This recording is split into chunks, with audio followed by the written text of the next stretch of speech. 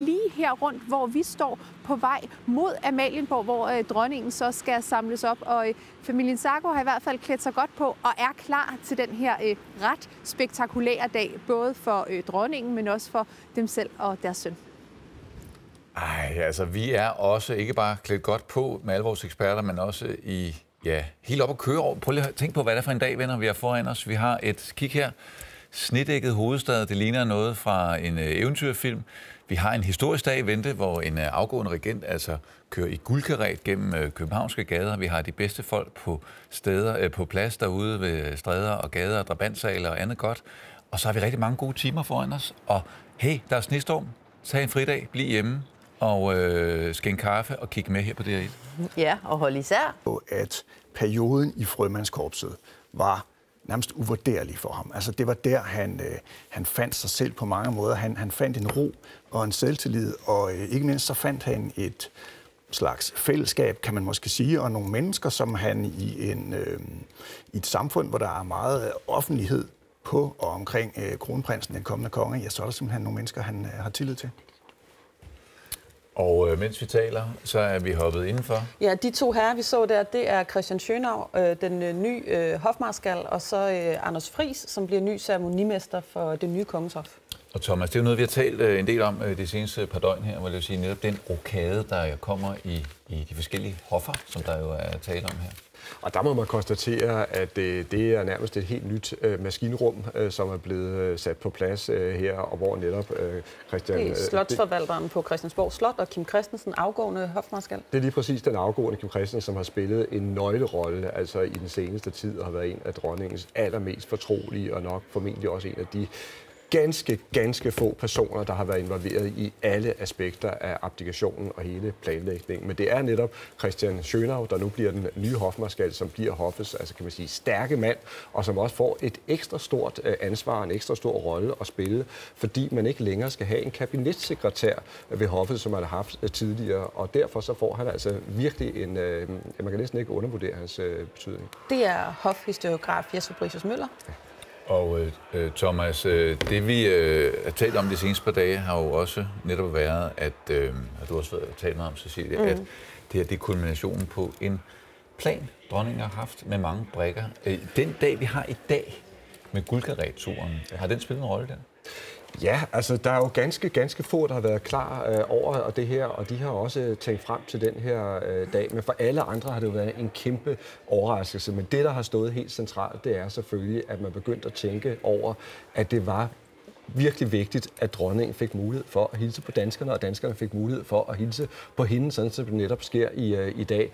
Og derfor vil det også være min forventning, også nu hvor altså, hoffet har meldt ud, at kareturen kommer til at foregå på den måde, som den gør, at der vil være mange, der stemmer sammen i gaden i dag. Og vi kan jo se øh, blandt de morgenduelige, der har været oppe og iføre sig et skrud, som jeg vil sige, at de færreste forundrer, I skulle iføre sig, inden klokken er blevet 9 om morgenen. Der har vi jo altså set flere repræsentanter fra øh, det kommende kongepars hof. Ja, så vi lige Eline Valby igen, øh, kommunikationschefen. Ja, hun var i billedet lige før. Vi har set øh, kronprinsesse Marys øh, privatsekretær. Vi har også set Morten Roland, også ja. en mangeårig medarbejder ved, øh, ved kronprinsparets hof, ankom her på Christiansborg. Men det, du siger, Thomas, det er jo også, at en del af de her højplacerede folk øh, øh ved hoffet øh, jo også er blevet overrasket, mm. og så er der blevet lagt øh, øh kortspil med meget kort varsel. De er blevet fuldstændig taget på sengen, og jeg har også hørt, at de blev kun altså, informeret sådan for, for, for alvor, altså få minutter inden, at uh, dronningen holdt uh, nytårstalen. Altså, så, så, så længe holdt man det i virkeligheden lukket. Det er klart, at chefgruppen fik informationerne lidt før, men man skal ikke tage fejl af det her. Altså, man har holdt det helt tæt, og, øh, og, og også en meget, meget snæver kreds har kendt til det her, øh, til det aller, aller øh, sidste. Og det betyder så også, at hele den her planlægning, der nu øh, er, er i gang, og også øh, hele hele arrangementet omkring kareturen. Altså, det er jo noget, som hoffet sådan er, er, er blevet kastet øh, ind i. I hvert fald har de slet ikke regnet med, at det skulle blive en, en afsked, sådan som det, det bliver nu. Men man kan sige til det, at i, hvis, hvis nu, at det her tronskifte er foregået, som vi har tradition for, nemlig at det sker i tilfælde, af, eller når regenten dør, så øh, vil der jo ligge en eller anden form for plan. Så det er jo ikke fordi, at, at der slet ikke er noget at stå på. Alle de ting, som skal ske, hvor der skal altså, på forskellige måder steder, skal jamen, omrokere og skal, skal, og skal gøres ting. Det er jo faktisk ting, som alle godt ved skal ske. Det her med omrokering, det er en fast ting. Det gør man hver gang, og det har man altid gjort, at det gamle hof, det går af sammen med den regenten, og så kommer der nyt forbi, så vi er meget opmærksomme på, at uh, trafikken også skal kunne glide. Men hvis der kommer mange mennesker, og der bliver meget tryk på, så kan vi blive nødt til at lukke dele af byen af, så vi vil gerne opfordre til, at man følger med uh, på trafikinfo, og vi skal også nok sørge for at sende uh, tweets og andet ud i forhold til, om uh, trafikken bliver påvirket mere end højst nødvendigt. Vi må se, hvad der sker. Peter Dahl, tak skal du have. Ja, tak til Daniel Myrup, som vi er tilbage til mange gange, mens vi nyder de her dejlige, dejlige, ja, vidunderlige billeder af øh, Livgarden, naturligvis i gala i dag, og måske ekstra glade for de varme bjørneskinsure lige præcis sådan en frostklar, snedækket januardag. Mads, altså der er jo mange, der er i aktion i dag i forsvaret. Masser af flotte uniformer, øh, folk, der er ude, kan vi se på hesteryg og så videre. Prøv lige at fortælle, du har selv været i forsvaret. Hvad er det for en dag, hvis man får lov at være med i dag? Jamen, det er, det er en stor dag. Altså, det er rigtigt. Jeg har selv en, øh, en skummel fortid øh, som værnepligtig i den, øh, også i, forsvaret, i den kongelige ja. livgarde. Ja, ja, også i forsvaret. øh, det er mange år siden, skal lige siges, men, øh, men, men de der dage, hvor man får lov at trække i den røde uniform, øh, og montere den, øh, den hvide øh, fangsnor, altså den hvide snor, der går fra, fra bjørnskenshuner ned øh, de er store, de er specielle. Jeg vil sige, til daglig på den daglige vagttjeneste, der bliver der også pudset støvler og også pudset taske, men det bliver gjort med lidt større ihærdighed, også fra de inspektionshavende side, altså fra sergeanternes side, der skal kontrollere det. Så det er en stor dag. Øh, det er virkelig øh, førsteholdet, de A-game, man, øh, man finder frem. Og så vil jeg sige, de officerer i dag, som skal ind og hilse på, øh, på majestaten, øh, det er også en stor dag. Det er jo forsvarets chefgruppe.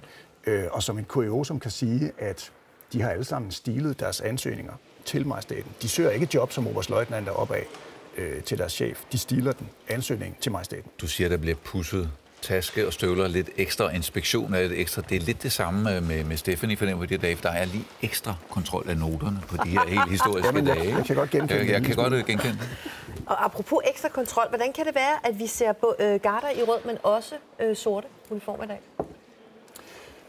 Det kan jeg simpelthen ikke svare på. Nej, jeg, jamen, har det ikke, skal jeg, har, være jeg har ikke lige bidt mærke i øh, garderne med de sorte uniformer. Nej.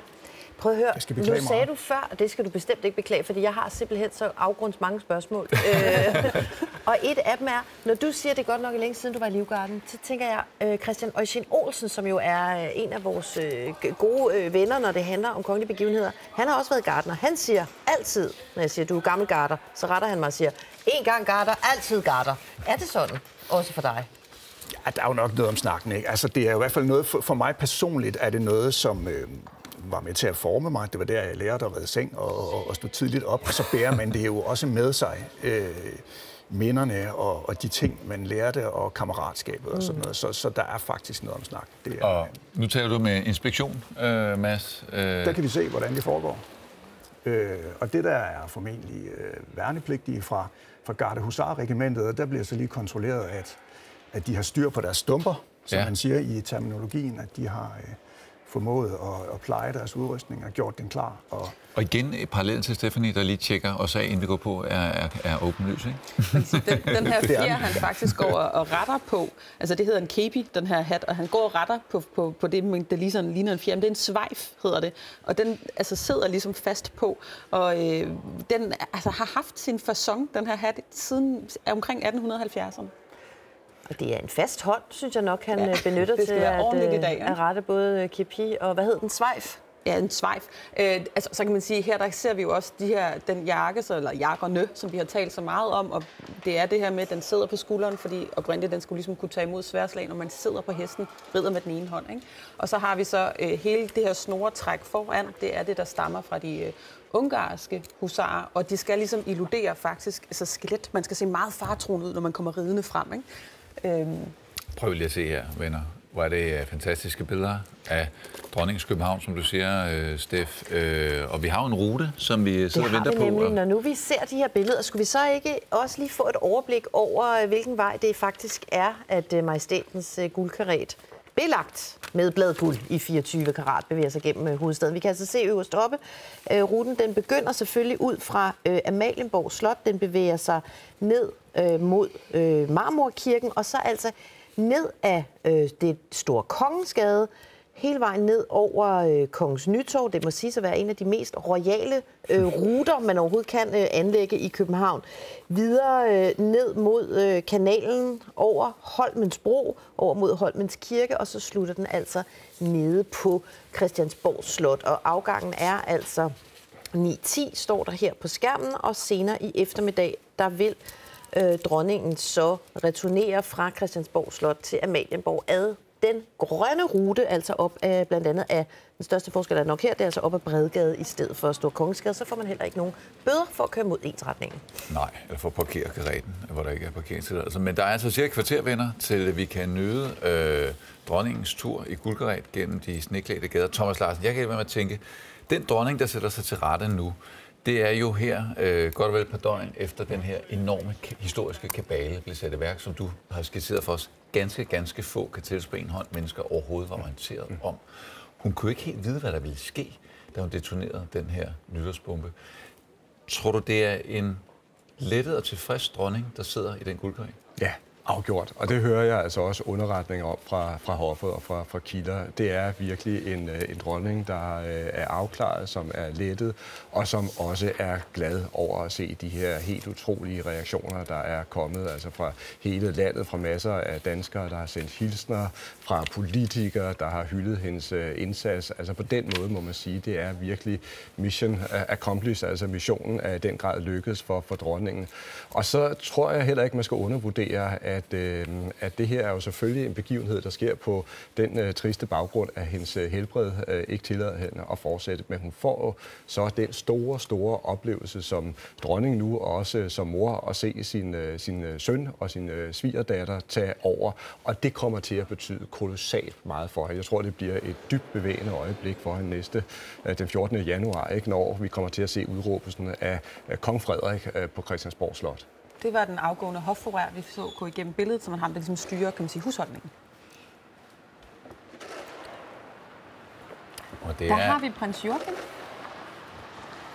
Altså har øh, tilbragt både øh, nytåret og øh, selvfølgelig også julen med øh, sin familie her i Danmark. Og hvilket man jo også kunne se lidt som et symbol på, at øh, familien er samlet igen. Og der står øh, endnu en øh, snidronning for i dag. Ja, altså tidligere øh, statsminister Helle thorning Schmidt, der også er på vej til kur lige for at tjekke mobilen inden. Den skal selvfølgelig helst ikke Og nu er Jesper Høring ikke, øh, men jeg har derinde. ingen fornemmelse af, at han vil være begejstret. Øh, nu er Jesper Høring her jo ikke i dag, men jeg har lidt fornemmelsen, at han vil være begejstret, øh, sådan som Helle Thorning så ud der. Hun matcher i hvert fald vejret. Lige præcis. Um, vi vil ham om kjole øh, eksperteriet. Vi sidder altså her og øh, er øh, sådan cirka ja, 15 minutter fra, at øh, dronningen øh, starter sin øh, rute øh, gennem de københavnske sneklædte gader.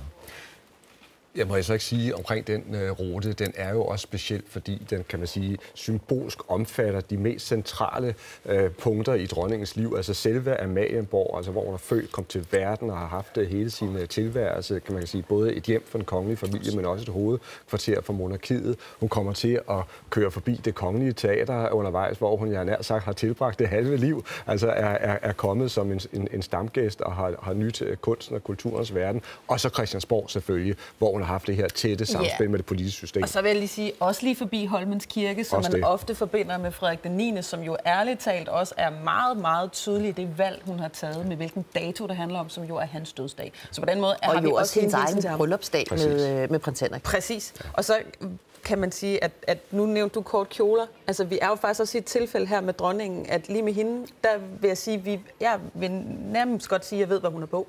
Øh, hun har nemlig sin kurkjole. Hun har en kjole, hun altid har på til det her arrangement. Hun, øh, hun fik en, en ny øh, kurkjole her øh, faktisk øh, sidste år, var den i brug første gang.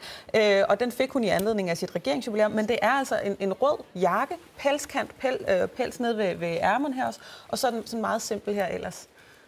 Det kunne jeg ikke se, hvad Nej, det nåede jeg faktisk øhm, heller ikke at se. Hvad det hedder. Og den kommer vi til at se hende igen. Og så kommer vi det er faktisk ja, Henning Fode, kabinetssekretæren, der ja. fratræder, som har været en utrolig tæt og central rådgiver for dronningen gennem mange år. tror jeg, det var Dan Folke, som er øh, hvad det hedder, økonomichef derinde, der gik ved siden af. Og Henning Fodes stilling bliver jo faktisk øh, nedlagt, fordi ja. den øh, nye hofmarschall øh, jo får lagt de funktioner ind under sin post også. Han bliver altså en mere magtfuld skikkelse nu. Og det er det meget gør han. interessant. Og der kan man sige, at det er faktisk noget, der er lidt bekymring øh, over, fordi altså, kabinetssekretæren spiller en ekstremt vigtig rolle, som altså også kongehusets forbindelsesled til det politiske. Og det er sådan, hvis vi går tilbage i, i historien, altså så har der været nogle ret nervepirrende øjeblikke, hvor sådan en kabinetssekretær har fyldt rigtig meget. Så det, det bliver spændende at se, hvordan den nye organisation kommer til at virke. Før der så vi en del kammerherrer, synes jeg, det så ud til at gå igennem øh, billedet. Og man kan sige, nu taler vi om øh, de rokader, øh, dronningens øh, abdicering har skabt for ja, folk, der arbejder her ved hoffet, men det har jo skabt et hav af travlhed alle mulige steder. Øh, hos folk, øh, gode folk, der producerer kalendere, for eksempel. Jeg hørte en meget stresset mand fra Mejland forleden, fordi han lige pludselig har sendt øh, alle kalenderne ud, hvor der selvfølgelig står mærkedage med de forkerte titler nu, og øh, hele bunken skal om igen. Øh, og på den måde er det jo med kalendere, frimærker og alle mulige andre øh, ting, øh, kroner, pengesedler osv. Der er rigtig mange, nu kan sige, kalenderne er sådan et meget konkret fysisk problem for en producent, men ellers så er traditionen i Danmark, at man udskifter det løbende. Øh, Så på den måde, så det man havde tænkt, man ville gøre, hvis det havde været et tronskifte på en almindelig vis, der formoder jeg, at det er det, vi vil se ske. Ja. Så langsomt og stille og rolig udskiftning. Vi bruger ikke det, man gør øh, andre steder, hvor man gør det sådan ret meget fra dag til dag. Og det er meget fornuftigt, for det er en enormt dyr omgang. Ja. Nu så vi lige for et øjeblik siden Garter i øh, sort uniform, Mads. Og der kom ja. vi to jo til kort, fordi vi kender ikke forskellen, øh, eller vi ved ikke, hvorfor der både er Garter i rød og i sort. Men så kan jeg så fortælle jer, at vi har nogle utrolig opmærksomme seere. Og det er dejligt, at der er mange, der er vågne derude. Det er blandt andet en tidligere Garter ved navn Jakob Pedersen, som nu skriver, øh, han er selv er gammel Garter, og den sorte uniform, den sidder på dem, som har aftrædende vagt, altså dem, der startede deres vagt i går. Så fik vi også det på plads. Jeg er jo sikker på, at det var Øjsen, der havde skrevet ind. Jeg tror ikke, I på Messenger. alt. okay. I dag, og hvor det har været en evig snak, var det åben eller lukket karet? Hvad er det her for nogle heste, Michael, vi ser transportere øh, dronningen? er såkaldte kladruber. Det vil sige, at de er opdrættet på et studeri nede i Tjekkiet, som ligger, som hedder Kladrubi, og øh, var oprindeligt øh, opfundet af den østrig-ungarske kejser, dengang Tjekkiet var en del af det ungarske kejserige, hvor man opdrættede de her heste, som er overordentligt egnet til at øh, trække øh, kongelige køretøjer. Og det gjorde de også rundt omkring i hele Europa. Og de billeder, vi ser her, øh, kære venner derhjemme, det er altså ren, rå historie lige ind i fladskærmen. For det er sidste gang, vi ser regenten begive sig ud på lige præcis den her tur i sin famøse guldkaret. Og det gør hun altså øh, de næste par timer, hvor vi er med hele vejen, både langs ruten og i Drabantsalen, som er del af den nytårskur, der er i gang. Og lidt modsat vane, hørte vi, ja, så er rigtig, rigtig mange mødt frem, selvom det er hundekoldt og sneklædt, for at ja, på sin vis jo tage afsked i i hvert fald en af de aller sidste officielle optrædener som regent af dronningen begiver sig ud på.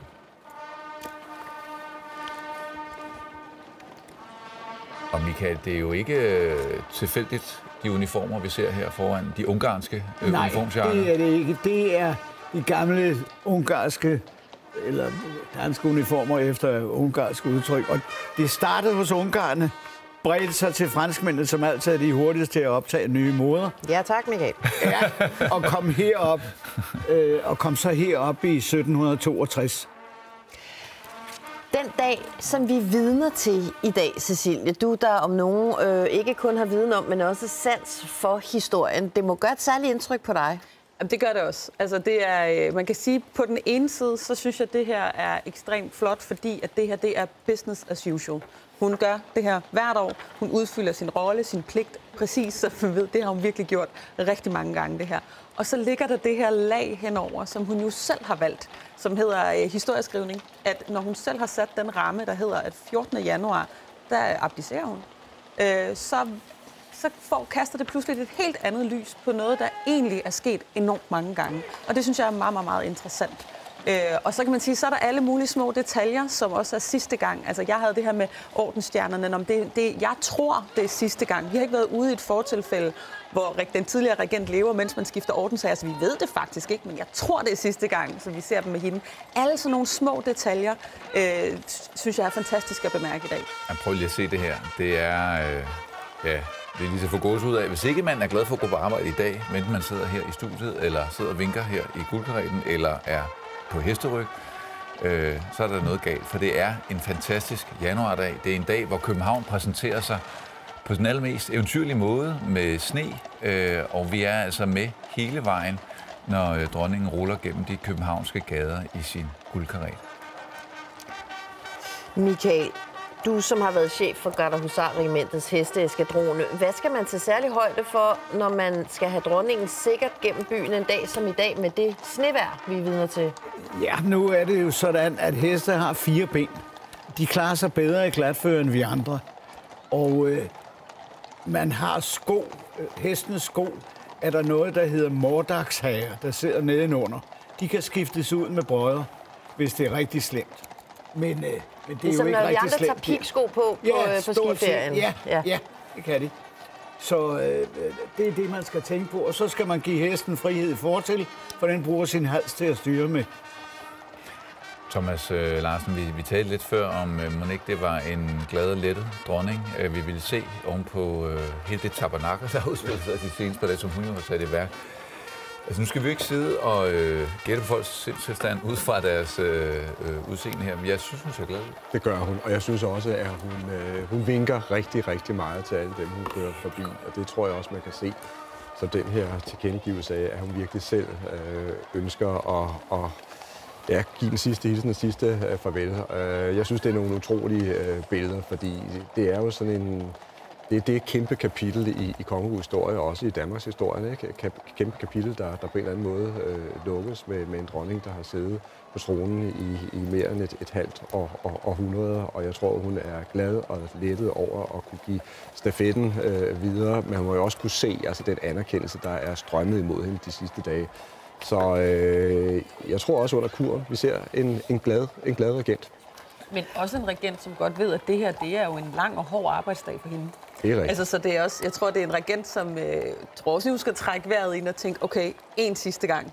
Øh, så, så ja, glad og lettet, men, men det er også en lang og hård dag, hun har foran sig. Og hvis man tænker, at der er der nogen, der har glemt at tage uniformer på, de der seks mænd, der øh, traver øh, i toptempo langs øh, karaten, med, så er det jo, fordi det er øh, dronningens livvagter, eller det er øh, livvagter i hvert fald, ikke? Det er øh, politiets efterretningstjeneste. Og det siger som jo endnu noget har- om øh, samarbejde, skulle jeg til at sige, mellem kongehuset, forsvaret og politiet. Det må man sige, og, og, og de er jo blevet et nødvendigt onde. Øh, jeg husker, øh, kronprinsen har beskrevet, hvordan han faktisk øh, i begyndelsen, øh, da han boede på Marcellesborg, prøvede at stikke af fra dem på, på sine løbeture. Det kunne man godt forestille Øh, sig. så det er jo en nødvendighed for, for de kongelige øh, og de er Ja. selvfølgelig også med i dag. Og så uden at, at, at, at ligesom male i for mørke toner, så kommer vi heller ikke udenom, at øh, politiet er mere end almindeligt til stede i, i, i dag. De er placeret øh, diskret, men de er der, og det er jo simpelthen også, fordi vi lever i en tid desværre med, med trusler, øh, og sådan nogle øh, ting skal de rent faktisk også være forberedt på. Og så er der så det ved det, at hvis, vi nu havde, hvis det her havde været for 200 år siden, vi sad og kiggede på det, så ville der også være gået mænd der. Så havde de bare haft noget andet tøj på. Mm. Ja, men det, men det er utroligt alligevel, når vi tænker på de andre europæiske kongehuse eller præsidenter, som har beredende styrker. Hvor meget plads de har udenom. Mm. Vores, de går jo lige tæt op og ned af tilskuerne. Ja. Øh, så, så sikkerheden er selvfølgelig, med al respekt, øh, ikke så hårdt spændt for, som, som, øh, som den er øh, i Storbritannien for eksempel, og i La France. Og øh, Michael, nu kan jeg ikke lade mig tænke, for nu har vi jo øh, med god grund jo talt rigtig meget om den omfattende rygoperation, som øh, jo faktisk er en stor del af, af årsagen til, at vi sidder i den her situation nu. Ja.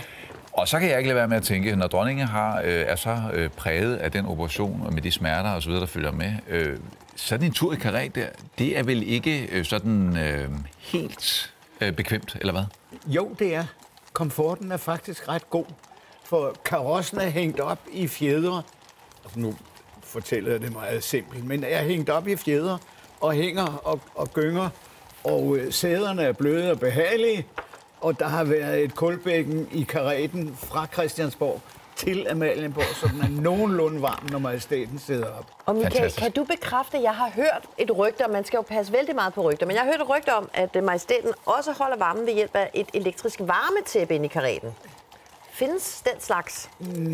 Det har jeg ikke lagt mærke til. Jeg har set pelsværk derinde. Det lyder også mere royalt. Ja, og vi har selv pelstæpper, som vi lægger med. Uh. Ja, Så jeg tror ikke noget så profant som et elektrisk varme til. Nej, hvorfor skulle man også det? Med en lille til om fødderne. karetten. Nej, Det er meget mere dig, Steffens. Det er meget mere mig. Altså, hun ville da også ønske, hun havde en lille minkklædt, den dame, der meget forståeligt står og fryser der om fingrene inde ved øh, Kongens Nytorv. Det er jo altså øh, næste, kan man sige, er jo ikke stop på ruten, men stor plads på ruten, mens karetten jo altså er på vej ned af øh, Stor Kongensgade fra Amalienborg videre ned over Kongens Nytorv med retning mod Holmens Bro over den, forbi Holmens Kirke og så altså ned til Christiansborg, hvor kurens tredje dag nu er i gang.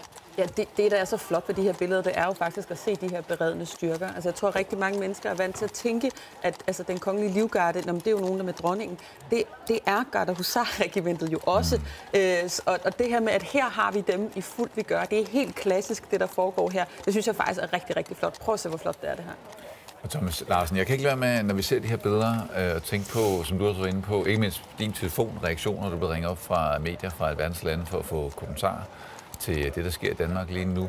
Der er mange udlandske medier på plads, og man, hvis man nu arbejder i Wonderful Copenhagen eller lignende organisationer, så vil jeg sige, så vil man næsten knipse i armen med sneklædt øh, eventyrland, øh, vi kan præsentere her, og så med de her flotte uniformer. En dronning i guldkaret. Michel, hvad ved du mere? Jamen, det er fuldstændig øh, rigtigt. Det er en, øh, en eventyrfortælling, og øh, jeg tror også, at de her billeder de kommer til at gå, øh, gå rundt i, øh, i, i, i verden. Og så er der jo det ved det, som der egentlig ikke er så mange af os, der går og, og, og tænker over, men det danske kongehus bliver faktisk dækket meget intenst af, af, af store udenlandske medier. Det er klart, når vi snakker om Australien, der har de jo en helt særlig interesse i, i, i de begivenheder, der, der udfolder sig. Men for eksempel også i Tyskland, der er der et kæmpe, kæmpe publikum. Vi taler altså om millioner af mennesker, som levende følger med i, hvad der sker i, øh, i Danmark i Dansk Kongehus. Og nu kan vi altså se, at karetten har ramt Kongens Nytorv. Den er på vej forbi. Så vidt jeg kunne se, er vi på den side med Hotel Ja, vi nærmer D'Angleterre. D'Angleterre lige om lidt her. Øhm, og videre Og forbi den franske ambassade jo netop, ikke? forbi den franske ambassade, hvor vi jo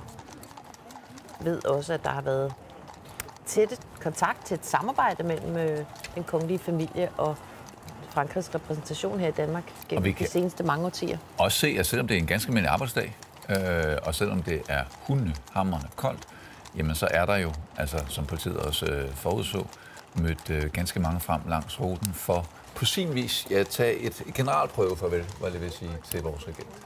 Men det er nok et godt gæt også, at øh, der er mange, der har været skræmt væk efter alle de her meldinger, der er kommet om snestorme, og alt vil stå i et, og man skulle blive hjemme, og man skulle lade bilen øh, øh, være, og alt det her. Ikke? Og nu er det spændende at se i eftermiddag, om der måske er endnu flere, der tør at våge, at våge sig ud. For jeg tror, der er altså en del, der efter de meldinger, der er er kommet fra øh, ja, DMI og så videre, lige har sagt, det lyder altså for voldsomt. Pætvagterne, de skal nok holde varmen. De er sendt i skarpt trav der. Nu vi har de her flotte hvide heste i, øh, i, altså i billedet her. Hvide heste er faktisk noget, man har forbundet enormt meget med kongehuse, også langt tilbage i tiden, fordi symbolikken i hvide heste simpelthen er, at de er meget, meget sjældne fra naturens side, og derfor meget fine. Så derfor er hvid hest meget fin. Michael, øh, nu tager vi Jeg er nødt til at rette dig. Skimlede heste. Undskyld. Den hest er ikke hvid, den er skimlet. Den sorte hår i sin mennesker. pels, så er den blåskimlet. Har den brune hår i sin pels, så er den rødskimlet. Og der sparer du for en sms fra Oceanosen. Som familie og alle gode øh, ønsker til ham, der, der øh, er helt sikker på, kigger øh, med derhjemme. Og jeg kan også fortælle omkring de seks heste, der går foran vognen. Man tror, at når der er seks heste, så kan det gå rigtig tæt. Det gør det ikke. Stanghestene, det er dem, der er nærmest kareten. Det er dem, der laver arbejdet. Så skal vi have nogle tabre op foran, som er ligeglade med nettoposer og paraplyer. og så dem, der går i midten, det er bare blære. Sådan. Så øh, sådan er det. Øh, Michael Kronprinsen Ja, har jo også en øh, lang og gloværdig fortid i øh, forsvaret. ja, det har han. Han, øh, han var tjenestgørende ved Gardosar-regimentet en overgang, og også på et vist tidspunkt i min eskadron i forbindelse med en eskortering. Og han var den guttermand, som man oplever øh, nu om dagen. Og som faktisk, tror jeg, var den guttermand, øh, der, jeg ved det ikke helt, øh, som Det var kørte forbi her. kronprinsparet, der ankom lige her, vi lige præcis. så. Ja, Øh, Du har en magisk timing, Michael. Du kom i det sekund, øh, kareten rullede ud. Jamen, det... det- Og det sekund, du sagde kronprinsen, så kørte han forbi. ja det, det er rimelig godt klaret, ikke? Og her ser vi altså Danmarks kommende kongepar ankomme til Kur Cecilie. Det gør vi. Og det er virkelig markant her. Og der kan vi faktisk se, det er interessant, det, nu er Jesper Høvring her ikke, men øh, tager vi man kan sige- Korsager. Jeg tager vi Mads Korsager. Mary har øh, ikke på samme måde som dronning Margrethe en, øh, en fast kjole, hun bruger, men skifter. Øh, men det vi typisk ser ved de her, det er altså nogle lange kjoler. Øh, det er langt, og det er fint, men det er relativt simpelt, også fordi det er jo en, altså det sker om foregår om dagen, det her. Og der har vi altså ja, alle de her forskellige flotte ordner. Det er jo elefantorden i bånd, som vi ser. Men det er ikke ordensdag i dag, Nej, Cecilie, det er ikke vel? ordensdag i dag. Nej. Det er 1. januar, det har du, øh, det har jeg med nu. Øhm, man kan sige, det som øh, jeg egentlig er lidt interesseret i, det smykke, som hun har om halsen, det synes jeg ikke lige, jeg kunne øh, sæ- sætte navn på. Jeg tør næsten godt love, at vi får øh, flere billeder af, af kronprinsparet senere. Og øh, igen, man kan jo sige det om alt, der kommer til at udspille sig de næste 10 døgn, men jo øh, igen også sidste gang, at kronprinsparet deltager i kur uden selv at være værter for den. Det er det, der kommer til at ske øh, til næste år. Og jeg vil lige få til, da vi talte om før, det her med, at øh, de internationale medier jo i den grad øh, dækker det her. Jeg læste i morges en ret interessant øh, artikel om en fejde, der nu er ved at udspille sig mellem skotske og australske medier, fordi skotterne jo også er kommet på banen og begyndt at kalde hende Mary Queen of Scots slash Danes, selvfølgelig på grund af arven fra hendes Historien, skotsk ja. fødte far. Så nu er skotterne rullet sig ud og sagt til australierne, I kan godt sætte jer ned. Øh, hun er også vores. Men der må vi bare lige slå fast her fra studiet. Der er ingen af der har ret. Øh, hun er vores. Sådan. Og der er i hvert fald vandtætte skotter her mellem øh, dem, der kigger på, og dronningen, fordi der er altså øh, både varme og glas i den guldkaret, der ruller forbi. Det er vidunderligt, at der nu graves dybt over hele verden, for ligesom at få en eller anden øh, forbindelse til det, der foregår i vores hovedstad lige nu. Der har vi Holmens Kirke helt heroppe i venstre hjørne, og det er altså den, man især forbinder med Frederik den 9. Og jo altså også, hvor øh, dronning Margrethe øh, giftede sig, ja. dengang hun øh, endnu var øh, prinsesse med øh, Henri de la Borde de Montpezat, der jo så altså blev til prins af Danmark. Og der er bare noget over, når vi ser de her paukertrummer på historik igennem Ja. de københavnske gader. Det, det er helt skønt. Og den tumler glad og fro afsted. Og jeg har fået mange spørgsmål om, om, om, øh, om ikke det var stressende for den med de der paukeslag. Det er det slet ikke. Altså, den er kun på 80 decibel. Prøv at stikke hovedet, Okay. prøv at stikke hovedet ind i et diskotek. Ja, Eller en dansk børnehave. Ja, eksempelvis. Ja, ja. Så, så det, det, det, det finder den sig rigeligt i. Og vi lærer den med, når vi får den, og spiller vi almindelige trommer ned ad staldgangen. Det gør I simpelthen, når I ja, træner ja, på så den spiller, måde? Ja, ja. okay, så skruer man langsomt op. Ja, så skruer man øh, langsomt op, ja. Ja. Indtil man lander sådan på Ja. to tredjedel børnehaveniveau.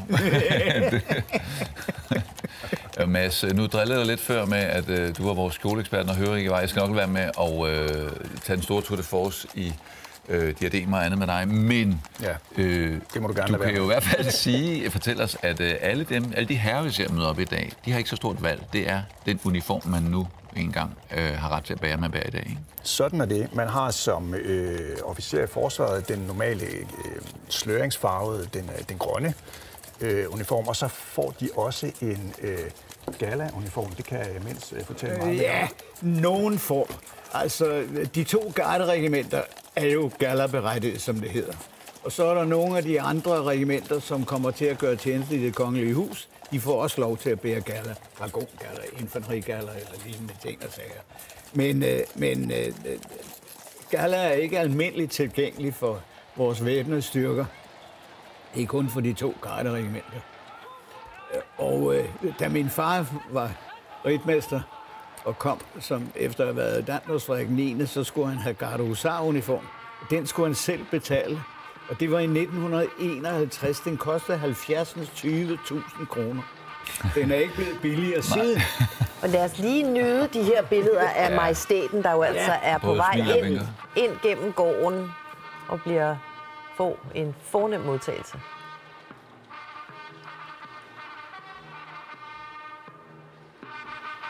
Skulle man lige have tændt sit fjernsyn nu, jamen øh, så er det i dag. Du skal blive hjemme og holde fri. Du kan bare bruge øh, snevejret som undskyldning, fordi det vi ser nu, det er altså historiske billeder. Det er dronningen, der for aller sidste gang i rollen som regent kører gennem de københavnske gader i guldgeret som en del af nytårskuren.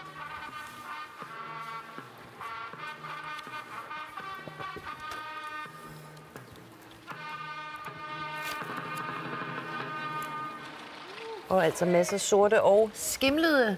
Skimlede, ja. Skimlede, ikke Ja, hvide heste. ikke Så lærte vi også Mærke det. til, husarerne har også skimlede heste. Trompetterne rider på skimlede heste. De var datidens signalmænd, og de skulle være let genkendelige for alle styrker, og derfor red de på en anderledes farvet hest. Så det hedder faktisk prinsen på den skimlede hest, den man møder en dag. Øh, ja, Burde det hedde. ja, det har du fuldstændig ret i. Det er helt født skimlet. Så jeg vil godt give den en lille, lille bitte smule ret. Der er forsoning, der er forsoning i studiet. Og vi normalt er de mørke, og så bliver de, ligesom os andre, bare meget tidligere grå i året. Ja, det sker jo også lidt forskelligt hos mennesker. at se den der majestætiske hest. Den har den evne, at den har et utroligt roligt temperament, hvis man vælger de rigtige selvfølgelig. Øh, har et utroligt øh, roligt temperament, og så har den øh, en evne til, at når den kommer for karet eller under rytter, så tænder man blærerøvsknappen, så kommer hele den fyrstlige udstråling, og det kunne I jo se, da de stod der i porten. I porten. Så og her ankommer hun altså, dronning Margrethe den anden af Danmark, til sit livs og sidste kurs som regent. Ja, og det man skal bemærke her, det er altså de to meget store bryststjerner, der sidder øh, øh på, på sådan hendes øverste del af jakken her. Øh, Vi har et halssmykke op fra Perle Boras-sættet, Så vil der sidde øverst oppe, der sidder der et, sådan et, et lille portræt på en medalje af, af Frederik den 9.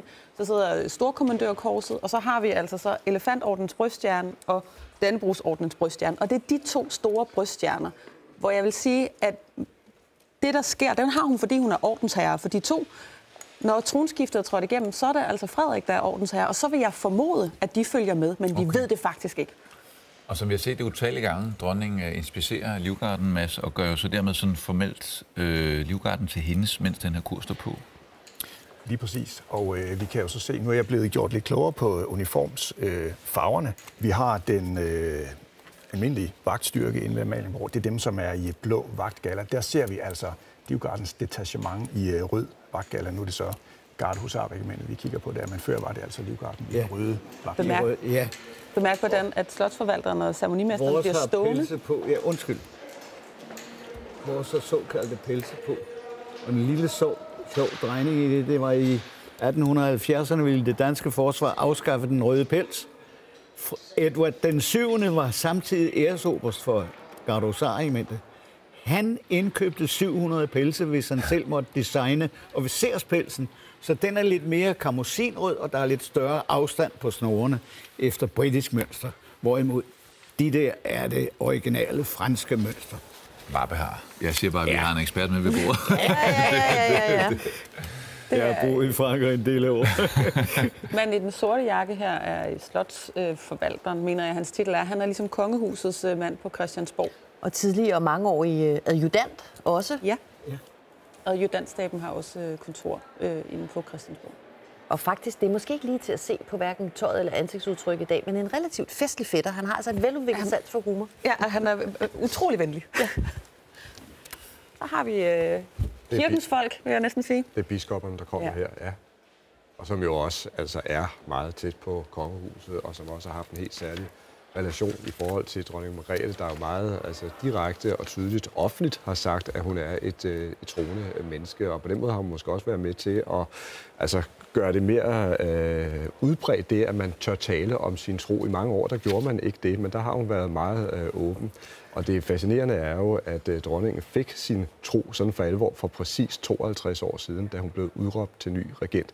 Måske fordi hun havde brug for noget større, som hun selv har udtrykt det, hjælp oppefra, og det har hun så fået. Men dronningen har jo også, hvis man har fulgt ja, utallige, øh, alt fra genforeningen og alt muligt, altså, altså øh, markeringer, har der jo meget tit været festgudstjenester øh, indlagt, og hvor man jo har kunne fornemme på dronningen, at det var noget, hun øh, ikke, var ikke bare pligt, det var noget, hun så frem til at have været med i Norge. Hvis man skal tale om nogle af de søjler, som dronningen står på, så er der ingen tvivl om, at gudstroen den er helt afgørende. Ude på øh, Christiansborg øh, Slotsplads lige nu, der står vores gode kollega Elisabeth Thies. Det ikke hører til folkekirken, men det er klart, som du også er inde på, altså hun står i spidsen for, øh, øh for folkekirken, har gjort det igennem mange år, og hun er et dybt troende menneske. Hun kommer i kirken, ikke bare en gang om året, hun, kommer der, der, der virkelig, det, det er et rum, hun er fortrolig med. Hun er glad for at sidde ved gudstjeneste, hun kender hele vores salmeskat, og så er der ingen tvivl om, hun har virkelig følt, at hun har fået, fået hjælp altså fra, fra, fra Gud Gud undervejs i sin øh, tilværelse. Og det har hun faktisk været usædvanligt åbent om, også i en tid, hvor mange øh, slet ikke vil tale om religion, ikke vil tale om, om, om, om, om tro. Hun har gjort det mere acceptabelt, det med at, at, at være et troende menneske, tror jeg, man kan sige. Cecilie? Ja, så kan man sige, i forhold til det, det vi jo ser her, det er jo, at øh, der, vi ser rigtig mange militære uniformer, og så ser vi også de her, altså biskopperne, der kommer, og når du kigger på, hvis du skal helt ind til benet af en regentrolle, en hersker i princippet, og går langt tilbage i tiden, så er det de to elementer, altså forsvaret, øh, den rå magt på den ene side, og så den her åndelige magt, er faktisk ret to helt centrale elementer i overhovedet at have en tidlig kongemagt, altså før enevælden. Så på den måde så ser vi jo faktisk også rester af noget, der strækker sig meget langt tilbage, også flere tusind år tilbage. Så vi er inde på den måde at se nogle af de billeder, som altid har fulgt kongehuset, når vi ser de her mennesker komme. Og prøv så også lige at se de her billeder. Altså, der er, det er en dag, hvor der er statsgaranti for kuldegysninger, hvad man står på den øh, kolde rute, eller sidder og nyder de her historiske billeder af København hjemme foran skærmen. Vi er altså i gang med, Thomas. Og meget på Slotskirken, som vi ser et billede af her, der ligger næsten i forlængelse af, af Christiansborg, og som jo også har været afgørende for, for, for dronningen, og det var der, der også var den smukkest tænkelige afsked med prins Henrik øh, netop øh, her. Men det er rigtigt det, Cecilia er inde på. Altså man kan sige, båndene til troen går langt, langt til, til, tilbage og har, har været sådan en rød tråd gennem øh, historien. Og det handler om for, legitimering af Præcis. Altså. Men, men, men for dronningen, der vil jeg så få til at sige, at det er også dybt, dybt personligt. Det er dybt personligt anlæggende. Mm. Og øh, det kan man jo også se af hendes valgsprog, altså med Guds hjælp, som der står i det. Ja, mange vil kunne huske billederne lige præcis efter øh, øh, prins Henriks øh, bisættelse, hvor dronningen stod øh, uden for ensom majestæt, lige præcis her, hvor vi så øh, foran trappen. Men man kan sige, at Guds hjælp står i et valgsprog, er ikke nødvendigvis ens betydende med, at man er meget troende selv, fordi netop Gud er et, vi genfinder i næsten alle valgsprog ned gennem historien. Men det er rigtigt, hun har været ude at sige det her med, at hun er meget religiøs, og det er vigtigt personligt for hende. Men der er ligesom den her, nedenunder det ligger der også en legitimering af en magt. Øh, og Mads, øh, ud over kirken, så er det jo altså også en dag, der fylder rigtig meget for forsvaret. Øhm, og øh, rigtig mange af de øh, herrer her, vi ser i uniform, har jo en øh, stor dag. Men dronningen har jo, fortalt os tidligere, et, et, det er ikke bare pligt og etikette og kutyme. Hun har faktisk øh, hjerteblod i, i øh, forhold til forsvaret, og har jo også selv øh, ja, været indkaldt. Jamen det har hun i hvert fald frivilligt indkaldt. Øh, hun stod jo i den situation, øh, at hun som øh, havde jeg sagt, alle andre medlemmer af den kongelige familie skulle vælge en øh, militær tilknytning. Og mens du taler og... videre, så siger jeg lige, at øh, det skal vi lige se, hvordan det egentlig så ud, for det er ikke, måske ikke alle, der lige kan huske, dengang dronningen hun var Lotte i det danske forsvar, og så fortæller du bare videre. Lige nøjagtigt, fordi hendes... Øh, her på kanalen gennem årene. Mads, jeg tror du, det betyder noget, at jeg er med på, vi så og spillede før af dronningen øh, i flyverkorps og så videre, men, men øh, jo trods alt nok en kronprins Frederik, der er endnu mere føles som en af vores egne i forhold til øh, forsvaret, fordi han netop har gennemgået de her helt vilde øh, strabasser, og, og det, øh, han skal præstere. Kan det betyde, at man på en eller anden føler, at man rykker endnu tættere på? Ja, det tror jeg. Jeg tror, det har en øh, stor betydning for dem, der bærer uniform. Øh, det er jo lidt ligesom, når man, øh, altså, når man får en ny chef. Øh, hvis denne chef er en, som øh, dybest set ikke aner, hvad vedkommende taler om, så er det bare øh, lidt sjovere. Man kan mærke det lidt mere i maven, når man ved, at den chef øh, vedkommende er heldig og vedkommende har endda gennemgået øh, en af de øh, vel nok allerhårdeste militære uddannelser, øh, der findes. Så, så det tror jeg bestemt. Og desuden så har han været tjenestgørende næsten i alle, eller ikke tjenestgørende. Helt fantastisk, begavet, kreativ, øh, professionel, øh, menneskelig, folkelig, det hele på én gang. Jeg synes, hun har udført et fantastisk job for, øh, for vores land. Og øh, har også været en del, faktisk mit livstapet, ikke? Så, øh, ja, så jeg synes, det er, det er værd at, hvad skal man sige, ikke fejre, men altså ønske hende held og lykke på i fremtiden nu med det, hun forhåbentlig så skal lave nu. Ikke? Du må tusind tak for ja, det, det Susanne og, øh, Alba. og Alba her fra Christiansborg Slotsplads, hvor mange altså står klar til at se dronningen køre afsted i karet retur mod Amalienborg. Ja, det er smukke Jeg har fornemmelse at det er en kommende kollega, øh, vi får der, Stephanie, med den iver, som hun rakte ud efter mikrofonen. Ja, hun gav i hvert fald øh, begrebet mikrofonholder helt nye dimensioner, øh, Alba. Og så altså, synes jeg også utrolig smukt, at dronningen bliver kaldt for et livstapet. Og her ser vi jo så, imens øh, Livgarden stiller op inde på, øh, på Amalienborg Slotsplads på den her øh, dag i historien, hvor det altså er sidste gang, at danskerne kommer til at se dronning Margrethe som øh, regent køre gennem hovedstaden øh, i den famøse guldkaret. Og det er jo det, vi venter på, mens vi også nyder lidt øh, fløjtemusik her. Øh, det er jo, at øh, lige præcis dronningen om lidt kommer til syne i sin guldkaret.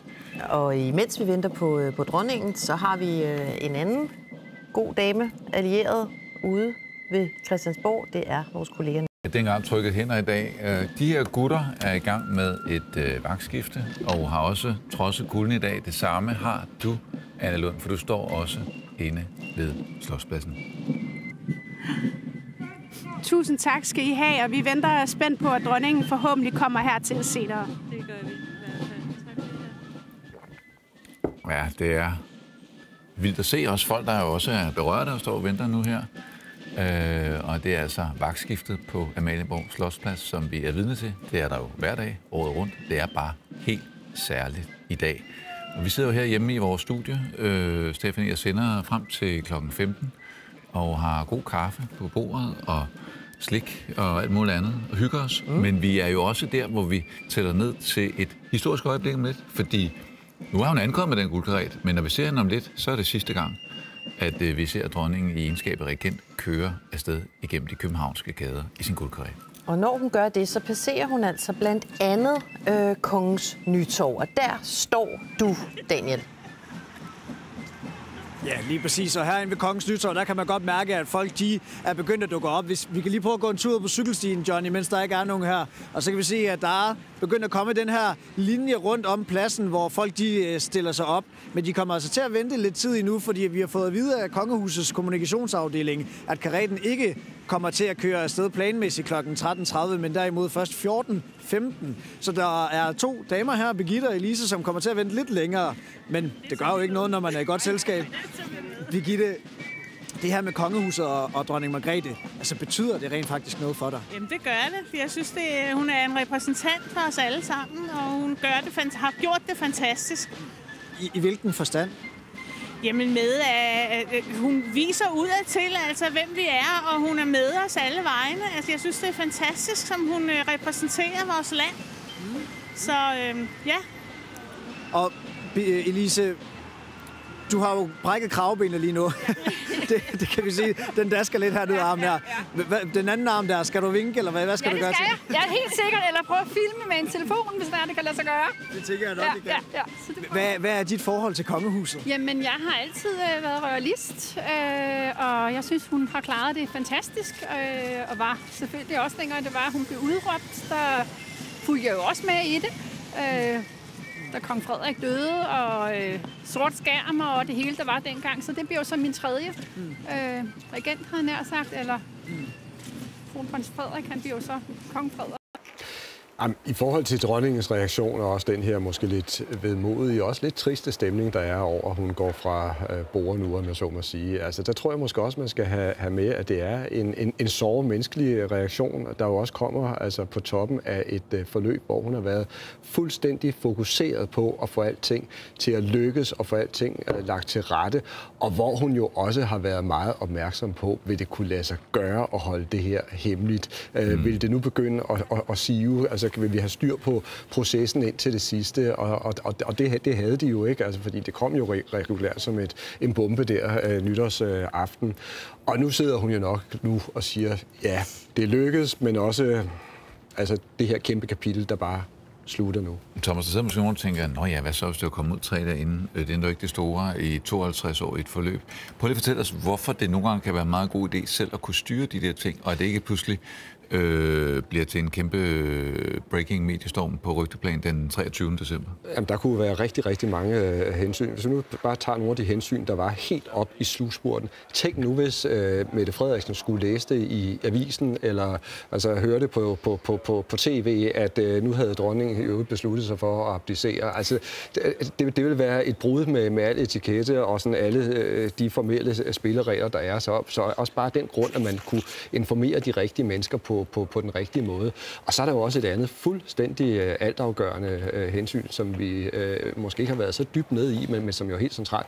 Det handler om, at hun har jo også ønsket at give kronprinsparet en mulighed for at vende sig til den her tanke og begynde at gøre sig de forberedelser, de nødvendigvis måtte gøre. Og det var, derfor kunne hun jo heller ikke blæse det ud. Så der har været rigtig mange øh, øh ting, der ligesom gjorde, at det her måtte være en lukket proces. Og hvis det var løbet inden, kan man sige, så var hoffet og dermed jo også dronningen i omstand jo kunne jo blive tvunget til at forholde sig til, at det rigtigt eller forkert? Fuldstændig. Lang tid inden. Fuldstændig. Så var de blevet fanget på et forkert ben. Ikke? Og så er der simpelthen også en dimension, der hedder, at hun gerne vil styre historien. Mm. Det er det, jeg mener. Mm. Altså, hun, hun vil gerne det, vi taler også om en dame, der er uhyre øh, historiebevidst. Hun mm. ved godt, at hun er en del af en, af en øh, Danmarks historie. Hun er meget bevidst om, hvad hun selv mener, hvordan hun selv fremtræder, øh, hvor hun selv træder ind i den. Men jo også i de hilsner, som øh, strømmer ind på deres platforme fra øh, fra danskere, der har mulighed for at øh, sende en øh, afskedssalut til dronning Margrethe som, øh, som regent.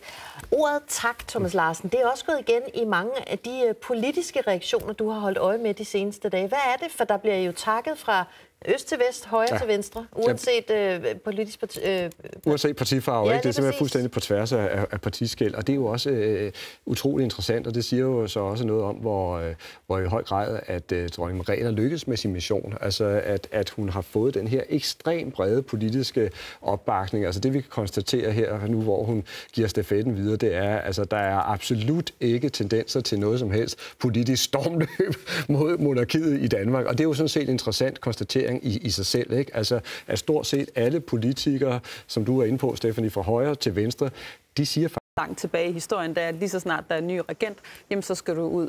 Du skal ud til de nærmeste kollegaer, og du skal simpelthen rundt i det land, du, øh, og det her rigsfællesskabet, du har, har under dig. Så det, så det vil jeg gå meget stærkt ud fra.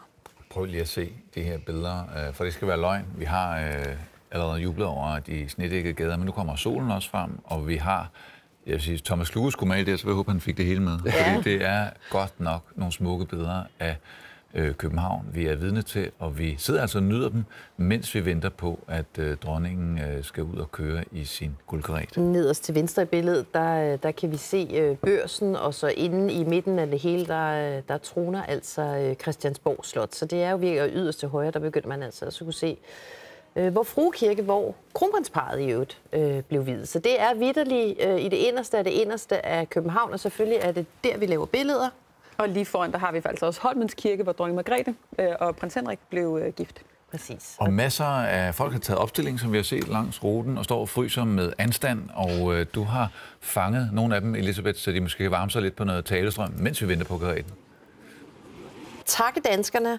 Og så behøver man ikke holde så meget på formerne, fordi det er jo en sms, så som øh, Helle fra Hvidovre skrev lige før, øh, vi har været heldige at have en dronning som dig. Man kan godt være dus med dronningen, når man sender en uh, sms på en dag som i dag. Det kan man i hvert fald. Vi har også set dronningen faktisk være, om ikke dus, så i hvert fald mere direkte i forhold til, hvordan hun øh, afsluttede har holdt opsyn med dronningens øh, grønlandske klædedragt, sikret sig, at der var styr på kamikker og perler og alle detaljer. Øh, det var jo en ren kærlighedserklæring fra Grønland, øh, fra Paulina i hvert fald, til, øh, til dronning Margrethe her, og samtidig øh, også en øh, tiltro til den kommende kong Frederik, som i øvrigt også har givet sine tvillinger. Ja, Sandsynligvis i samråd med, med Mary trods alt, men altså grønlandske mellemnavn, ja, nemlig Minik og, øh, og Ivalo. Thomas, øh, er øh, Paulina Thomsen her, tror du, ikke repræsentativ for øh, det grønlandske forhold til, øh, ikke Danmark, men kongehuset? Det er klart, her der står vi og, og taler med en meget, meget lojal øh, grønlænder, der virkelig er utrolig glad for, for, for dronningen. Dem er der rigtig, rigtig mange af altså i Grønland, men, men der er også nogen, der er mere kritiske over for det danske kongehus, og som er meget mere, skal vi sige, interesseret i. Om det måske var et øh, lidt farligt skifte i forhold til øh, kong Frederik, i forhold til netbander, men vi hører i hvert fald her, at øh, man har helt styr på, at øh, jamen, øh, Frederik har jo øh, været afsted med Sirius-patruljen. Han har et, et, et dybfølt forhold også til Grønland, så det kunne jo også virke som om, at det generationsskifte sagtens kan lade sig gøre, i forhold til Grønland i hvert fald, så kan vi altid snakke om Færøerne. Fuldstændig rigtigt, og der er ingen tvivl om, at, øh, at kronprins Frederik, altså han virkelig holder af, af Grønland og, og Grønlænderne og har et, et tæt øh, kendskab til landet, og han netop har været ude i naturen, altså på ski og med slæder og så videre. Og jeg tror, at de fleste grønlændere vil også kunne huske, altså dengang han efter en lang rejse kom tilbage til en lille bygd, hvor han været, hvor altså han jo stod og græd altså, øh, øh, over den øh, varme, rørende øh, velkomst, han, øh, han fik. Så øh, det er sådan noget, de har bidt meget mærke til. Og se lige billederne her ja, fra, øh, fra København. Det er jo altså svimlende smukt. Billederne gled lige over det kongelige skuespilhus og Ophelia Plads. Vi kan se sådan set over til højre billedet Mærsks hovedkvarter, vidt indpakket under ombygning vil jeg formode. Marmorkirken i, i hjertet af billedet, og selvfølgelig kan vi også se øh, Amalienborg. Men når vi snakker om, om rigsfællesskabet, så er der jo faktisk en, som er øh, en nation, der er trådt ud. Altså, der er nok ikke så mange, der tænker over, at dronning Margrethe er sådan set er født som islandsk prinsesse. Hun har et navn. Hun hedder Torhildur. Ja. Øh, og derfor så er de trådt ud. Jeg er ikke helt I sikker på forbindelse med 2. verdenskrig. Det er 2. Ja. verdenskrig. Jeg mener, det er 44. Vi er ikke... Vi... Deromkring, Øh, men det er jo egentlig ret interessant, at bare i hendes egen regering, altså mens hun har levet, mens hun har været kongelig, så har vi faktisk en situation, hvor at, øh, en del af rigsfællesskabet er trukket fra. Og på den måde, så er det jo egentlig bestemt en mulighed også nu, at det er jo ikke givet i sin natur, at rigsforsk, øh, altså rigsfællesskabet bare fortsætter. Hvor stor en rolle øh, vil I sige, at øh, dronningen har haft? Nu siger du, Cecilie øh, Jumarette, at der har været mange komplikationer øh, i forhold til, forhold til Grønland, af den her klassiske kolonimagt, øh, så den efterspil, der kan være øh, mellem storebror og lillebror, han har sagt. Øh, men hvor stor en rolle har dronningen haft øh, for, at det trods alt er gået? Jeg vil sige, at især i de senere år, så vil jeg faktisk netop nok tilskrive det til Frederik, 1840'erne øh, altså er gået i gang med at trække op til at afhente dronningen. Og vi, øh, lad os lige, fordi der kan jo snilt være kommet øh, nye seere til, siden vi øh, sidst øh, talte om øh, karetten og dens øh, indretning.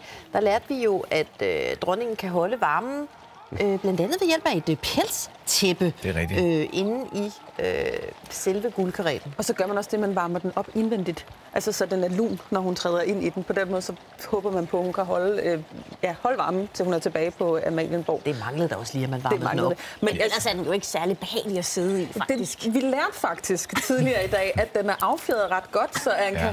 være, er den ikke så slem. Det er lidt værre, det der med at komme op i den. Men altså, det er simpelthen den fineste karet, der er. Vi, de fleste kan nok genkende det her med, at bilerne bliver kaldt krone 1 og krone 2 og sådan noget. Det her, det er staldkaret nummer 1. Så det er, det er det fineste. Og det er den her karet fra 1840'erne. 80, kyst omkring 80 procent på et tidspunkt. Øh, så det er ikke historisk højt, det der nu, men det er bare stadig meget højt med de 70 procent. Ja, og så kan man sige, at den har ligget op over de her. Nu kører de faktisk ind og skal til at afhente øh, dronningen, så nu går der altså ikke ret lang tid, før hun kører fra øh, Christiansborg mod Amalienborg. Den, har bare, den her procentsats har ligget utrolig højt rigtig længe, 70 procent eller over. Øh, og det er faktisk ret markant. De kørte ind, øh, skal jeg lige sige, karetten fra den ene side. Nu er de inde i den her store port, og så vil dronningen, altså inde i porten her, som det ser vi ikke, stige ind i karetten, og så kører den afsted. Bare hvis man undrer sig over, om den skal til at bakke ud. Det skal den altså ikke. Jamen, lidt.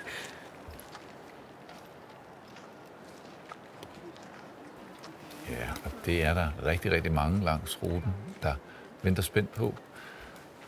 Vi har set øh, smukke billeder hele dagen fra København. Øh, der er faktisk blevet smukkere og smukkere i takt med, at øh, solen også så småt er brudt igennem en næsten skyfri himmel, tror jeg, efterhånden det er blevet til. Og så har vi set, at øh, der er markant flere, som du faktisk også forudså, øh, Thomas, øh, der har optaget, taget opstillingen nu, end der var i morges, hvor ja, flere af vores gæster også var forsinket på grund af snestorm og alt muligt andet. På ja, billedet, der ser vi jo øh, krone 68, måske klar til at afhente øh, kronprinsparet. Nu siger jeg måske. Ja, jeg, jeg er lidt usikker, men jeg vil sige, det, det tror jeg, at det er det, den skal. Og jeg tror måske, det er en af deres hybridbiler, men jeg vil ikke sådan... Det kunne i hvert fald være rigtig fint, hvis det var det. Hvorfor? Fordi at der er flere, der peger på, at kronprinseparet som øh, det nye kongepar virkelig kunne blive sådan nogle gode ambassadører for øh, den grønne omstilling og for at sætte mere fokus på klimakatastroferne. Jeg vil sige, apropos grøn omstilling, så har mm. kongehuset i øvrigt også en ladcykel i deres vognpark. Ja. Og vi får nu bekræftet, at det altså er øh, bilen, der skal afhente øh, kronprinsparet. Det er sådan et ret godt signal til, hvad det er, at øh, kronprinseparet som, som kongepar øh, gerne vil sende i virkeligheden. De her gutter har også ventet længe. Og nu synes jeg, vi kan fornemme historiens vingeshus.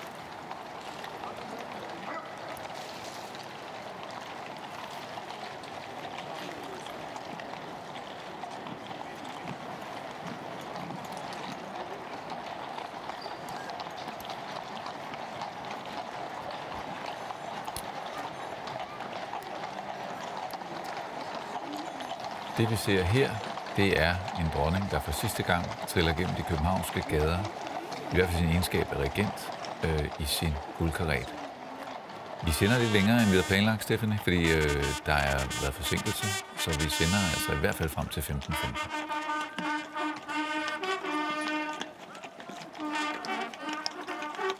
Det er jo også en af de sidste gange nu, hvor vi kan sige, at det er dronningens København.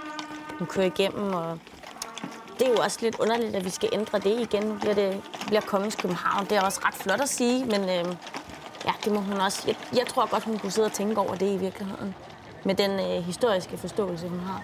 Så kan man sige, at, at øh, nu forlader hun jo øh, Christiansborg, og hun forlader faktisk også magtens ø videre ud til, til Frederiksstaden. Ja, og, og nu vil sige, det her det er sidste gang, hun forlader Christiansborg Slot mm. som dronning. Næste gang, hun forlader Christiansborg, der er hun ikke længere regerende dronning.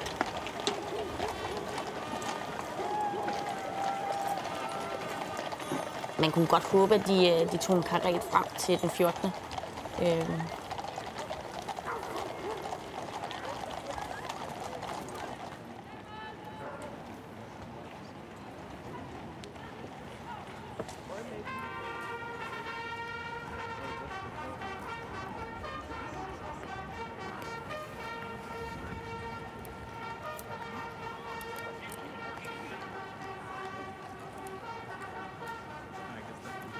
en dronning, har vi hørt tidligere fra de gæster, hun har haft øh, til kuren, som er, er præget af dagen, har været virkelig vemodig og oprigtigt berørt af, øh, hvilken markering det her er.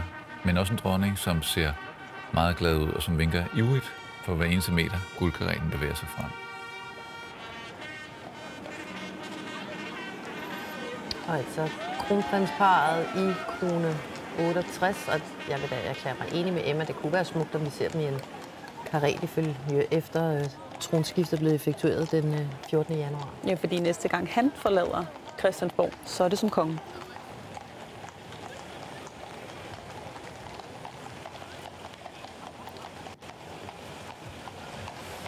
Det var altså den 14, som skulle være i tvivl om det i januar, at øh, det du taler om der, Cecilie, det kan godt være, at vi får et glimt af dronningen i de mellemliggende dage ved forskellige ting, men det her kunne meget vel være den sidste officielle anledning, vi ser hende i den egenskab.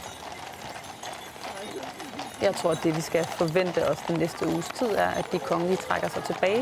Øh, Jeg forventer ikke, at de deltager på den måde i offentlige ting frem til den 14. Dejlige billeder her af Holmens Kirke i hjertet af København. Den kirke, som dronning Margrethe og prins Henrik blev gift i, og en kirke, der meget bliver forbundet med Frederik 9. dronning Margrethes højt elskede far. Det er lige præcis det ene landemærke og sigtepunkt efter det andet. Vi er vidne til her, der pejlemærker i dronningens liv, altså Christiansborg, magten, som vi er inde på, kirken, og om lidt, der kommer vi også forbi det kongelige teater, hvor jeg har nær sagt, at altså, hun har levet det halve liv, fordi hun jo også har været så optaget af kunst og kultur, og har overværet utallige forestillinger derinde, og så endelig hjem til Amalienborg. Ja, vi havde jo øh, chefen, altså Kasper Bæk, holdt den i studiet tidligere, som jo ikke lægger skjul på, hvilken uvurderlig betydning øh, for hans butik det har haft, at dronningen er jo er så interesseret i lige præcis, hvad der foregår i Kongelige Teater. Det eneste landmærke, vi mangler, for, synes jeg, for at fuldende det, det blik, det er sådan noget som, det kunne have været Nationalmuseet. Det ligger ikke tilfældigvis på ruten, men hvis man, det, der mangler i den her rute for at være repræsenteret, er den her ekstreme store historiske interesse, som dronningen også repræsenterer. Til gengæld får vi Nationalbanken her på venstre hånd, så pengene er repræsenteret. Men det er jo en standardrute. Det er ikke en rute, der er lagt ud efter at skulle forbi bestemte steder, som relaterer sig til dronningen. Det er vigtigt at sige. Det er den her rute, de altid kører på den her dag på året i forbindelse med den her kur. Så kan man altid hæve, hvis man mangler en krone.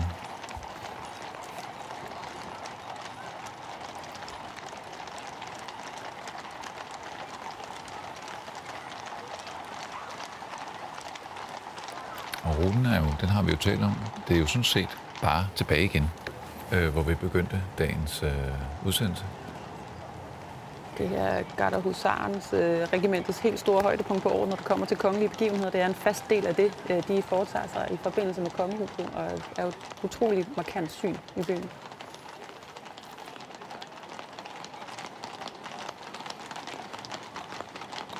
Og Og hvad så, Cecilie, bagefter? Nu er det jo hjem til Amalienborg, som sagt. Øh, vi har allerede set øh, det kommende kongepar øh, køre i bil, øh, krone 68, og nu altså dronningen her i guldgren hjem. Øh, så er det bare det.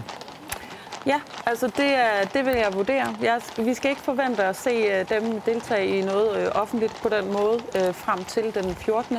Der ligger jo formentlig lidt øh, planlægningsarbejde forud, øh, som øh, nu er der en masse øh, detaljer, der skal styr på nu. Øh, og, og det er det, der kommer til at forløbe den næste uge. Og på den måde, så tror jeg, at ligesom, nu trækker de sig tilbage fra offentligheden, og næste gang, så har vi så selve tronskiftet med selve abdiceringen, og så den her... Der fik vi selskab af en, øh, af en højtaler her. Lad os, lad os nyde billederne af dronningen, der nu passerer det kongelige teater inde på Kongens Nytorv i København.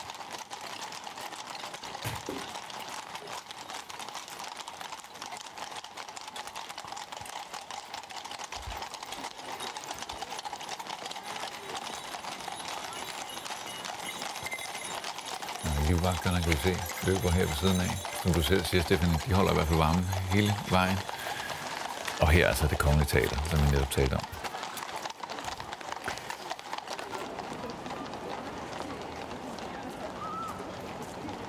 Kladroberne, altså de her hvide heste, som trækker selve karetten, blev faktisk genindført af øh, prins Henrik i 1994. Det var ellers ikke noget, der var... Man havde, de var ligesom uddød, kan man sige, i den danske talestat. Øh, men han var den, der sørgede for, at de blev genindført.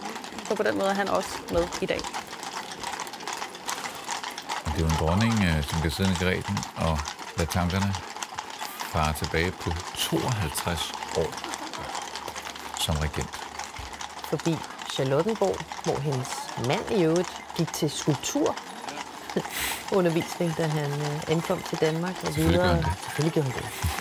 Og videre forbi Nyhavn og på den anden side den franske ambassade, og så altså ned ad Bredgade. Så er man næsten hjemme, Ja. når man er dronning og kører guldkaret. Øh, Thomas, jeg kan med til at tænke på, øh, tror du overhovedet, at alle brikker er lagt helt fast? Eller er det så meget øh, i farten, at man lægger skinnerne nu i forhold til det store skifte den 14. Jeg tror, at rigtig meget frem til den 14. er blevet planlagt, og det tror jeg, at dronningen altså selv har sørget for at være dybt, dybt involveret i, og selvfølgelig altså også i, i, i tæt forståelse med, med kronprinsparet. Det, der virkelig bliver det spændende, det er så, hvad er det for nogle brækker i puslespillet, som kronprinsparet de lægger i forhold til deres kommende gerning. Og der ved vi rent faktisk meget, meget lidt. Det er jo også det, der er det, øh, det fascinerende ved den her situation, at vi ved så lidt om, hvordan de vil altså, gribe opgaven an. Og også bare sådan noget helt fundamentalt, Kåre. Hvordan vil de ligesom præsentere sig første gang som mm. kongepar? Hvor, hvor vil de gå ud og sige noget om, hvad skal man sige, hvordan de vil, de vil, de vil gribe opgaven øh, anden deres første besøg, og som vi også snakker om, deres øh, måske første store øh, tur øh, rundt til, i hele øh, rigsfællesskabet, eller også komme ud til nogle af altså de skandinaviske kongehuse. Alt det her, det, det venter, og det er formentlig noget, der bliver øh, planlagt i den kommende tid. Og her går tempoet en smule ned, kan vi se. For nu er der pludselig mange heste og lidt smallere. Og det er på trods af, at de er på Bredgade. Har du taget mit manus, Stefan? det betyder så også, at livvagterne lige får en puster. Men der er jo ingen tvivl om, når vi netop taler om kronprinsparet, at det er en gigant, de skal efterfølge. Mm. Og de skal efterfølge en, der har siddet på tronen igennem øh, det her øh, svimlende halve øh, århundrede. Så jeg tror, de er forventningsfulde. Jeg tror, de øh, glæder sig. Jeg tror, de er klar til opgaven, men jeg synes også, at det må også være sådan fyldt med æresfrygt. Hvad var det for en statue, vi lige så, Cecilie Nielsen? Det var Christian den 10., øh, som er en, også en anden utrolig markant øh, konge i øh, den danske kongerække, og altså øh, dronningens bedstefar. Den øvrigt den konge, der skrev under på loven, der gav danske kvinder stemret. Ikke noget, han selv var super glad for, men virkelig noget, vi andre er rigtig glade for, han gjorde.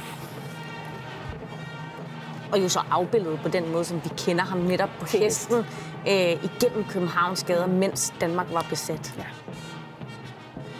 Også en meget stor, ikonisk konge i det moderne kongehus.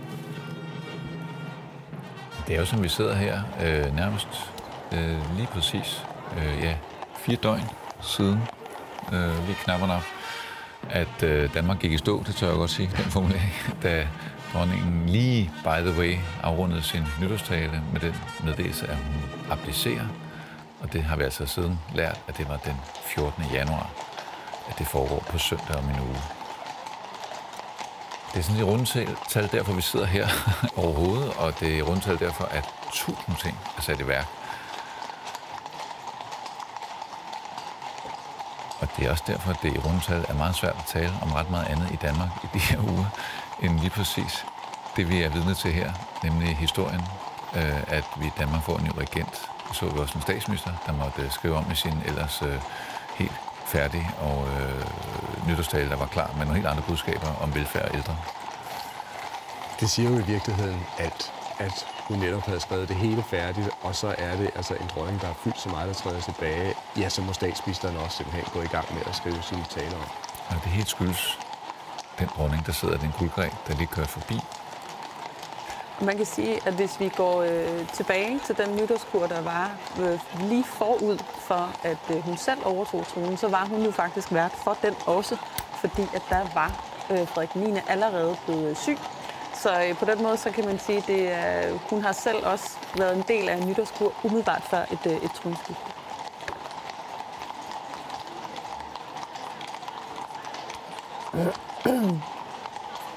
Det er også en dronning, Thomas, som du har sagt, som kan glæde sig over, at øh, alle, alle rådgiver vil jo gerne have, at øh, dem, de rådgiver, kan styre historien. Men øh, som du sagde, Cecilie, her, når man er dronning, vil man gerne styre Danmarks historien. Og det har Og det gør hun så. dronninger på en eller anden måde lykkes med, med den her Der har vi krone 68 med kronprins Brav billede. Og jeg tror faktisk ikke, det er en hybridbil, men en elektrisk bil. Så altså øh, lidt mere, endnu mere miljørigtigt, end det vi fik sagt før. Endnu mere on brand. Ja.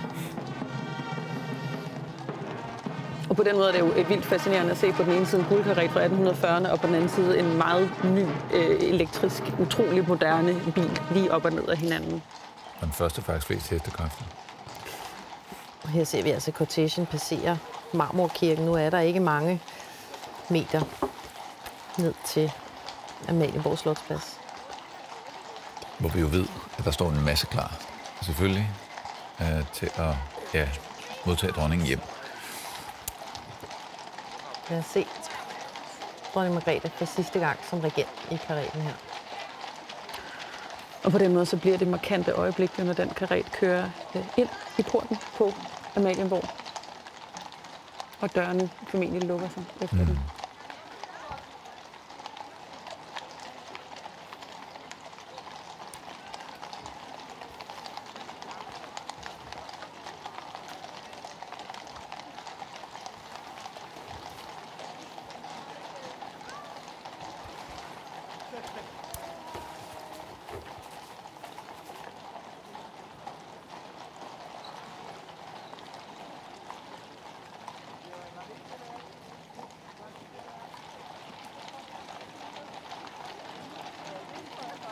Det er historiske billeder, vi sidder og kigger på her.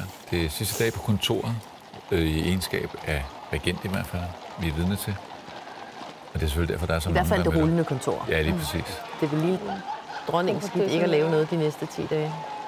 De her, de får også masser at lave, dem vi lige så, det kommende kongepar.